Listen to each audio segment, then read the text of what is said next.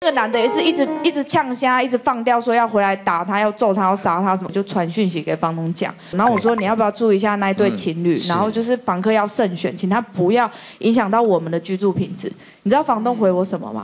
好好的，叶小姐已截图转告 B 市情侣，感谢告知。我傻眼，我说你是我只要我跟你说，我曾经有一次是那时候贪便宜，就我学校在新北市嘛，啊我在台北市工作，那我就找了一个中间点，我就租在那个万华最外围的那那边。对，那大家听到我要去租万华，就觉得说，哎那边可能治安不好，而且连停下来等公车都不敢，是一停下来人家就问价钱嘛。哎，对。我就找到那个警察局的隔壁，我想说，哎，这下治安安全了吧？哇，是哦。然后那边又方便嘛，又捷运站又闹区嘛，结果哇，一住一住进去，那个晚上啊，就开始会有一些喧闹声。因为那附近的人都玩到很晚啊，然后呢，夜生活多。对，就想说啊啊，半夜。都是警车的声音，他们就出去啊，又回来，出去又回来，就半夜不能睡。然后我就想说，哦，好，没关系，那这里我我就先忍一下，起码那个地点听起来好，也热闹跟方便。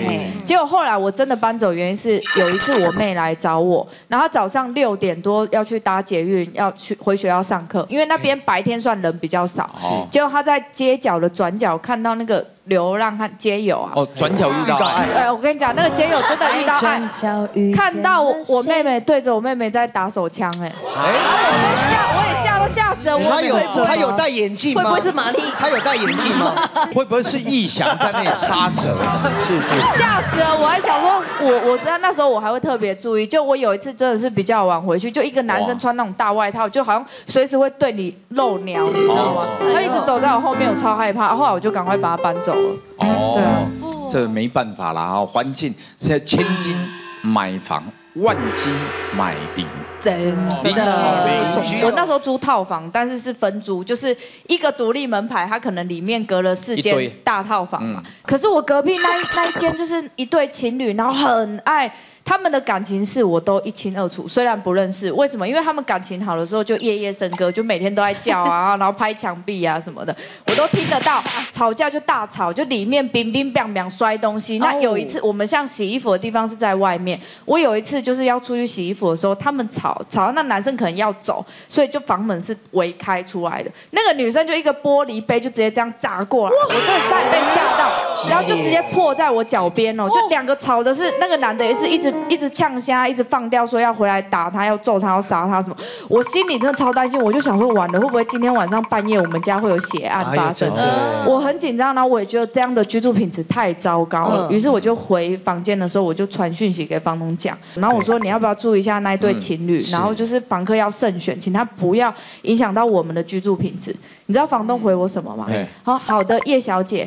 已截图转告 B 市情侣，感谢告知。我傻眼，我傻眼，我说你是，我只要我这个发东西的冲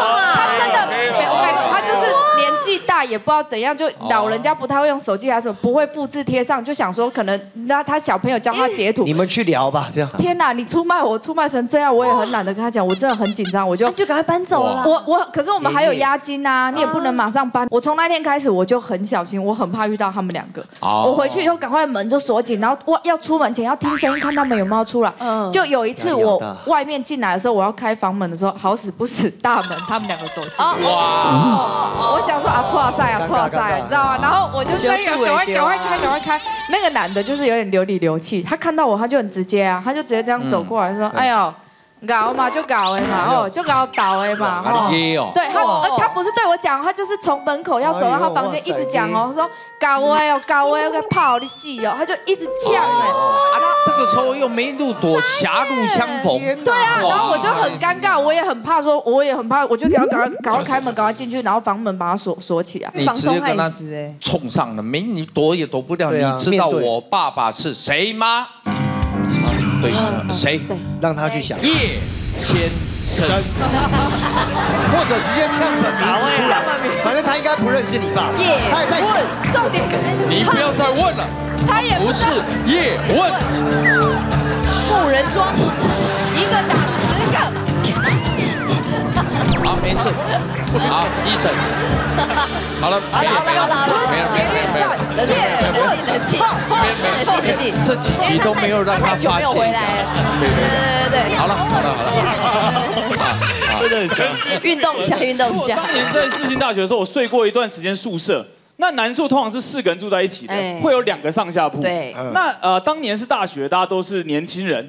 那只要是年轻人，都一定会要偷考考哦。就对男生来讲，那在宿舍你有室友，导致你没办法偷偷做这件事情，导致你只能晚上做。然后我们睡上下铺，如果下面在做的时候会非常明显，因为你整栋它都会摇。哦。不管它多么小力，你还是会觉得会摇。哦。那有一天呢，我在上上铺在睡觉的时候，我又听到下面在晃动，那我就十有八九在做这件事情。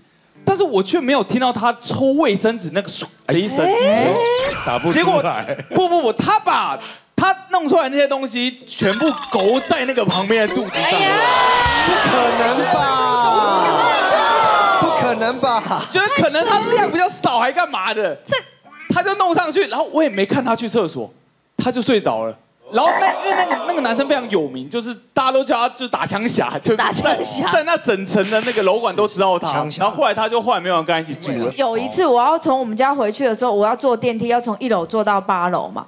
然后就坐到三楼的时候，突然电梯门打开，然后打开的时候是那个三个医护人员抬着一个担架进来。哇！那那个担架是没有人的，就三个这样。然后我想说，哎，我要我要上楼，哎。就那三个医护人员进来以后，就说你可不可以帮我逼那个电梯，就从三楼逼到四楼。我就说你们是救护车，怎么还跑错楼层？这也太不专业了吧！那人命关天这样子。就那医护人员就没有多讲什么，他就说哦没有啦，就是那个去四楼比较好好做这样。啊我也没有多想，那我就回家。就我回家大概过了十分钟，我朋友传新闻快讯给我，他说他看到那个快讯说我们那一个区域有人。刚刚跳下来，然后他跳下来的时候卡在三楼的遮雨棚，然后我那时候才想说，哦，难怪那个医护人员要叫我从三楼按到四楼，因为他卡在三楼遮雨棚，他可能去了三楼抓不到，所以要跑到四楼去去。去吊他这样子，然后我才想到这件事。但是我看到新闻的时候，已经写说那一个人就是不治身亡了。哦，对。然后这件事情我就觉得，我就是觉得毛毛，但我没有多想。结果呢，就刚好在在过了几天之后，有一次半夜，因为我们到晚上电梯要保养嘛，就可能两台保养只有留一台。那我要出门，就电梯到四楼的时候就一直上箭头上嘛。他一直就就没有动啊！我想要奇怪，因为我们大楼不是彼此都不会互相来往，其实都不会有人就是什么几楼到几楼串门子，不会，就是一楼跟你家这样子。我想要这个时间怎么会有人要上？而且他就卡在那里卡了很久，卡了大概五六分钟，我计程车都到了哦。后来我就我就想说算了算了，我就走楼梯，我就从八楼跑跑跑跑到一楼。到一楼的时候，我跟管理员讲，我说那个四楼为什么他是半夜搬家还是怎么样？他也占用电梯太久了吧？你不要跟他讲一下。就管理员听我这样一讲，他开那个监视器，电梯是没有人的，就电梯没有人，然后他就一直卡在四楼那边。